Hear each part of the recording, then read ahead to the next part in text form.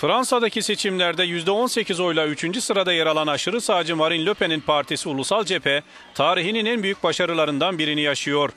Sarkozy ikinci tur seçimlerde kilit rol oynayacak olan Ulusal Cephe'nin oylarını kazanmak için kolları sıvarken, partinin lideri Le Pen ise bunun pek kolay olmayacağını söyledi.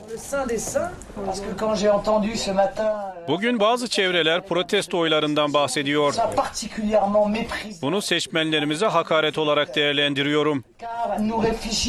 Hepimizin kendi fikirleri var, seçmenlerimizin de aynı şekilde.